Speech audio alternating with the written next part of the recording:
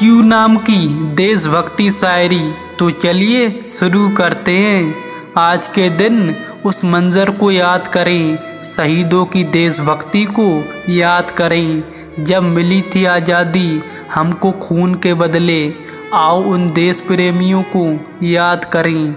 अनेकता में एकता ही इस देश की शान है, इसीलिए मेरा भारत महान है।